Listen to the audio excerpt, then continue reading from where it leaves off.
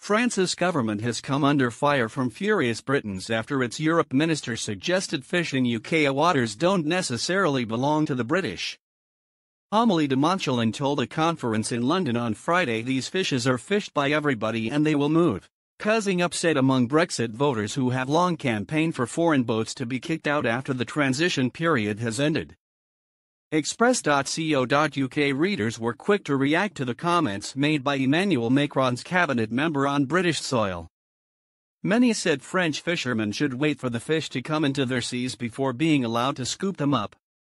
One man said, Our fishing waters are ours, the fish in our waters are ours. Any fish in the EU waters are the EU's. These facts, another person called on the French to wake up to the tough fact that if the fish are in foreign waters, they are not fair game. Want to buy some fish? We can sell you some, he added. And a third rater fumed. Maybe if they didn't laugh in our fishermen's faces, we would have been a little sympathetic. Many compared fish to other commodities such as wine and cars, saying UK citizens do not have rights to take these from other countries without paying. I should go over to Renault dealership tomorrow and liberate a car for myself, said one disgruntled reader. After all, Cars are for everybody according to him. Another added, Do French grapes belong to everyone? And yet another wrote, Okay, the French vineyards are everybody's.